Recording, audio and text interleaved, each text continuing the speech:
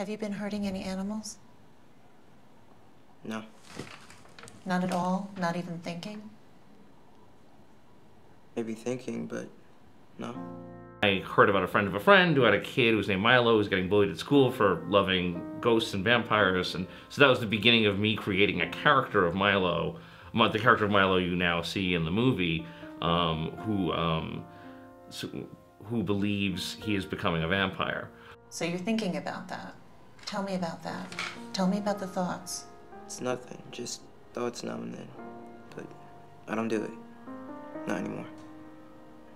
So once I began writing, I mean, well, first off, I wanted Milo to live in our universe. I wanted him to live in a place with our movies and our books, and Milo to be sort of a student of those things. And then I decided that Milo would like the most realistic ones because he's kind of someone who's studying what a real vampire is, um, because as he feels he is a real vampire.